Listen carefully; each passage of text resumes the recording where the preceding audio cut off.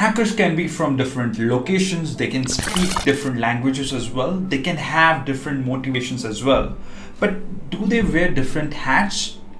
Well, no. But logically, yes. We have categorized them to make us understand well, and that's what we are going to learn in this video. Hello everyone, this is Rajneesh Gupta and in this video we are going to learn about three different types of hackers are called black hat hackers, white hat hackers and gray hat hackers. Let's begin. First, black hat hackers. They are unethical hackers and they are nothing but these cyber criminals. They hack into the network to steal money, data or disrupt the services.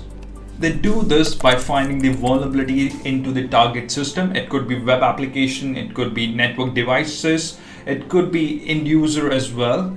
And then they launch their attack. Second is white hat hackers. They are unethical hackers. They do everything with ethics.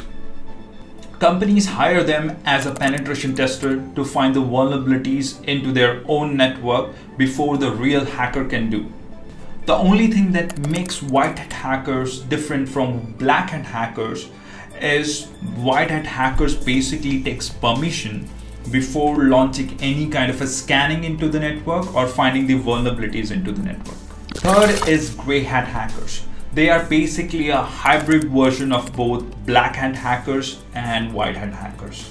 They hack any system even if they don't have any permission, but they never steal money or the data. They do this to test the security of the system. In some of the cases, they even inform the IT administrator of the organization as well. But even this is illegal as well because he didn't take the permission before.